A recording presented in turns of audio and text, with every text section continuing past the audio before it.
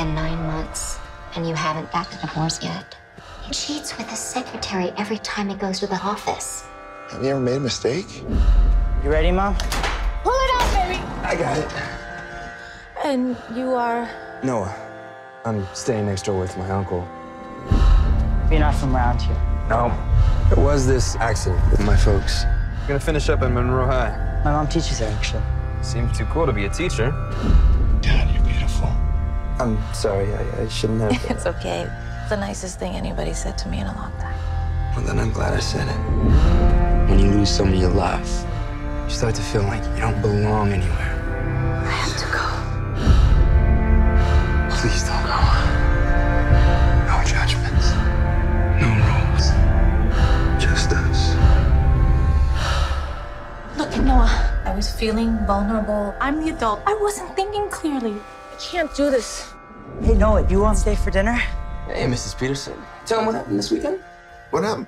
Oh, there was there was a big thunderstorm. You guys didn't get it up there? No, dry as a bone at the lake. Well, it got pretty wet here. Principal Warren. Good news, I've approved your request for Noah Sandborn to join your class. Kevin, did you send an email from my account? Sounds like you've been hacked. You should really change your password. Your father seems to be around a lot now, huh? Yeah, I guess. Don't forget that he walked out on you. Honey, I need you to stay away from Noah, okay? See you at school. Bye, guys. Oh, my God. What's going on? Gonna lose my job, my son, my life.